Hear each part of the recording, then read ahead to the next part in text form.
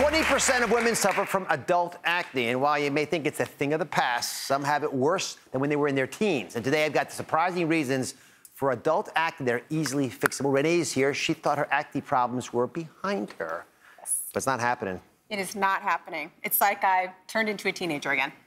Well, some Yeah. good things about that, I guess, but not the Uh, acne. I thought I was done with it, but I'm not. All right. So when do you normally work out? You work out in the face usually, all over? It's kind of depends. I mean, along my hairline here, sometimes it'll be around my nose, on my chin, sometimes between my eyes. It's um, unpredictable when it's it happens. unpredictable. There's no rhyme or reason. Let's start off so we're all on the same page about what a pimple really is. Okay. So I get just a little animation on this.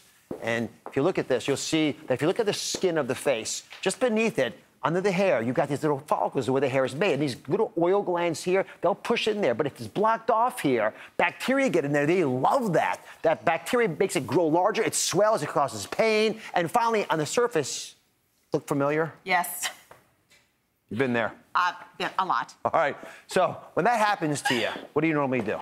Um, well, I hate to tell you this, but I actually pop it. I know it's You the wrong pop thing to your I, I do. I pop it. I can't handle it. It you just, it's there. You know everybody's looking at it. Well, a little tip next time, clean it up, get a needle, clean the needle, and just go like this, and just sort of lance it like that. Okay. Don't dig into your face, like, like this. Like lance it, and just let the pus drain out. You just saw how the pus is deep down.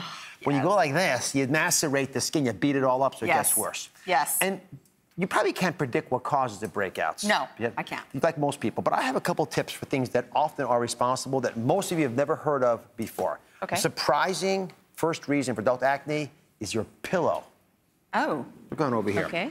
Think about this. This beautiful pillowcase looks so clean, doesn't it? Yes. You sleep on your pillow for seven, eight hours a night, I hope. yeah, huh? Right? Is that true or not? Uh, I try. Try. All right. Yeah. How many hours it is is still a fair amount. And there's dirt, there's oil, there's bacteria from your face, your hands, your hair has stuff in it, from the environment, the house. It all gets onto this beautiful pillowcase. And then that dirt is transferred back into your face, clogging up the pore like I just showed you in the animation. So how often do you wash your pillowcase? Um, maybe every other week. Every other week. Yes. Can we Yes. do better than that, you think? Uh, most definitely. All right. So general recommendations are once a week for pillowcases. Okay. But here's the double surprise. The pillowcase is only part of the problem. Pull that pillowcase off there if you don't mind. The other big problem is the actual pillow itself. You see this? Yes. Real pillow, folks. The pillow inside the case is also a breeding ground for dead stuff. Listen, this is pretty thin. Yes. Pillowcase. Stuff goes through there. You sweat on a pillowcase, you're sweating on the pillow itself. Yes. And all this junk breeds bacteria and other kinds of uh, contaminants. So you actually have to wash your pillows themselves. Okay. uh, Same every other week, No, or no, you don't do that. So we called around. Experts Yeah. recommend you wash the pillowcase once a week, but the pillows themselves every six months. Oh, okay. And you know, it's simple to do. Just wash them out, and it will help you a lot. Yes. I want everyone in America, because most of you have not washed your pillows in a No. long, long time. No. If it's been at least six months, which for everybody it pretty much has, you wash your pillows tonight.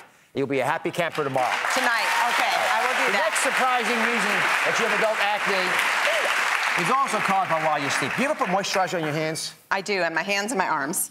You have very soft skin. You Lotion. the lotion, right? Here, give you a little extra. I love hand cream. Right. Yes. Go ahead, and put some on, rub it in there good. Now, when you go to sleep at night, you ever put your hand near your face? Uh, yes. You do. Show me how you like sleep like this. Like a little, I like a little well, fairy. Yes, and I know it's not good because then I wake up with fingerprints, but it's just it's wonderful. Well, uh, the, the, there are a couple things about, about your hands under your face, but one of the problems is if you put hand cream on your hands Uh, and then you rest it on your cheek, you're actually putting something on your face that's supposed to be on your hands. It's not called hand, if you know face cream, it's called hand cream for a reason. They put different kinds of things in there, so your solution is to find a moisturizer that's called non-comedogenic. Comedogenic means causing pimples. Uh, so a non-pimple cream. Okay. Anything that promotes acne has to be avoided. I'm going to give you a list right now Okay. of five things that are commonly found in products. They are good for your hands, they're not good for your face. So coconut oil, don't want it on your face. Algae extract, great for hands, not face. Sodium chloride, that's salt, folks. You don't want salt rubbing on your face. Lauryl sulfate and isocetyl stearates. These are chemical names. I, you know, they're on DrOz.com. You don't want them in your moisturizer Okay. that you use late at night on your hands. Okay. Next surprising reason you get adult acne has to do with medications. Okay. And some of them are not ones you'd expect. So this, and it's a side effect. People don't want to give you acne with their medications. If you have a sudden eruption that looks like this picture, there's an image of somebody. See it like, and it, it came on pretty quickly. Two things to look for. You look for a multivitamin that has iodine in it. I take a multivitamin every day. You do. I want you to take the multivitamin. Okay. But if you have iodine in it, that can actually create those kinds of reactions. Okay. And you can get iodine from having table salt that has iodine in it. Okay. So you don't have to get it from a vitamin. Okay. So if you do happen to have that acne, just try getting a multivitamin without iodine being added to it. Okay. And if your doctors put you on medications, frankly, many can cause it, but the most common ones are anabolic steroids. Yes. That we use for many reasons. Yeah. That will really hurt you. Okay. So you be thoughtful about that. All right. Thank you for being here. I appreciate it. Absolutely. Thank you for having me. We'll be right back. It.